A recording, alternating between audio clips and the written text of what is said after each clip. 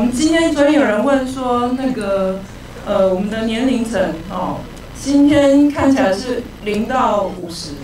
不止，哦，五十，嗯，五十五十零到五十都有哈。可以可以可以。下一好，呃，我呃，大家好，我是泽伟。那我要提的是公有地相关。那这一次是特别想针对台中市的公有地，主要是因为市政府跟呃中央的部门，大概目前都有在开放资料上面释出台中市的公有土地，那大概是十万十二万笔的地号。哦，所以呃画面上是简单的把一些已经有的资料，呃，简单的把它放在 Google Map 上面，大致上就是说。可能有中央部门跟市有土地两个资料来源。好，那建筑物的部分，其实是因为，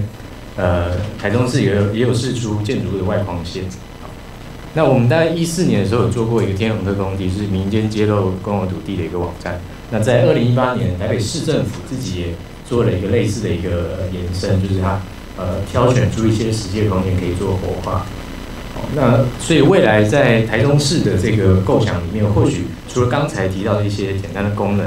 呃之外，或许也可以增加一些，例如说像这个是呃其他的计划在做，但是针对一个空间的呃透视图的使用提案，去让民众来创作，所以可以创作出不同的方案来谈说这一块空间未来可以变什么样的方向。那第二个主题是回到台北市，其实呃资讯慢慢的揭露的情况下。呃，公有土地、公有建筑物，目前大概释出状况，就是在画面上有列举一些。哦，所以像全台北市的有大概十三万笔的公共土地，那呃正在招募提案的，像地震局它是挑选出两百笔。那以建筑物的部分呢，反而是总笔数的公共公有建筑物是不小的。哦，那现在财政局它挑出了八笔在招募和呃民间来提案活用。哦，例如说这个就是这八笔里面其中一笔。这看起来还开始整修，然后也有比较好的，这是一个在内湖的一个空间，那其实水电啊、屋况都很好。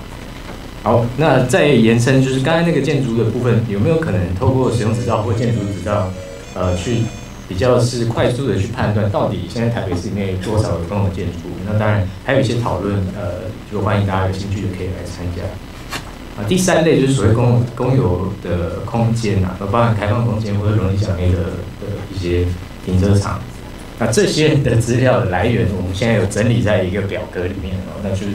也边整理边看看到底现在资料上还有哪些缺漏，或者是呃有衍生一些事情。所以他当然是可以做一些呃台北市的像资产运用计划，或者是透过一些空间的分析去就哎哪边是淹水潜势高的地方，那空地空地可以做一些。呃，淹水前置的阴影，那甚至是回到市政府要做这件事情，它其实现在是比较是暂时性或变异性的去媒合一些人力资源。那未来它如果要真的比较常态型，答辩的政策，或者跟民间有更长久、长久的互动，在公共治理上应该有一些新的想象。所以就欢迎大家来参加这个主题，谢谢。